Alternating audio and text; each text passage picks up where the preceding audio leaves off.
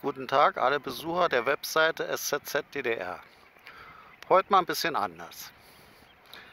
Das ist eine Fähre, weiter nichts. Wo ich hier mal am Strand spazieren, hier in der Nähe von Esberg. Ich wollte erstmal Danke sagen für die 1486 Klicks im Monat Februar. Und es hat mich gefreut. Und viel Spaß weiter beim Stöbern bei meinen Akten und vielleicht lädt dich mir auch der eine oder andere mal ein zum Seminar, dass ich mal über die alte DDR sprechen kann und über meine Flucht über die Heime. Gibt da viel zu berichten. Würde mich freuen. Ich danke euch. Bis bald. Ciao, euer Günther.